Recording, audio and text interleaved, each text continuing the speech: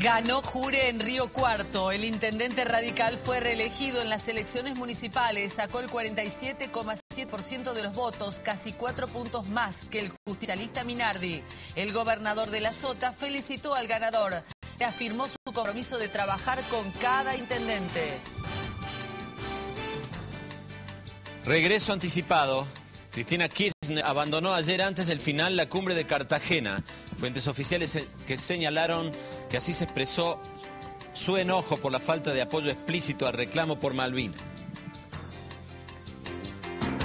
Vudú en la mira. El hermano de su principal operador dijo que el vicepresidente recibía a Van der como un amigo más. En una entrevista en el programa de Jorge Lanata, Mauricio Zabaleta afirmó que estaba dispuesto a declarar en la justicia. Misión Europea por IPF, una comitiva del bloque regional, llegará esta semana a la Argentina para plantear su preocupación por la situación de la petrolera. Entre otras cosas, pedirá que se respeten los acuerdos sobre inversiones.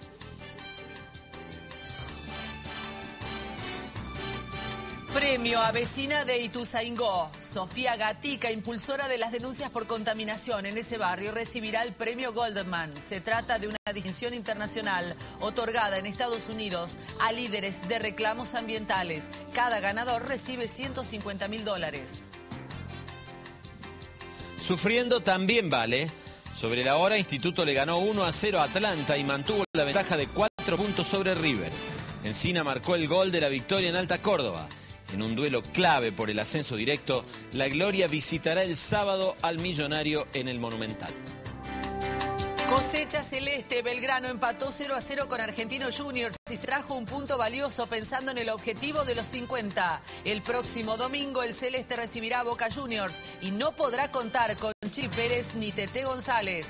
Boca cayó en victoria y comparte la punta con Newells. Después de perder, los jugadores Ceneices se enfrentaron con un grupo de hinchas de Tigre.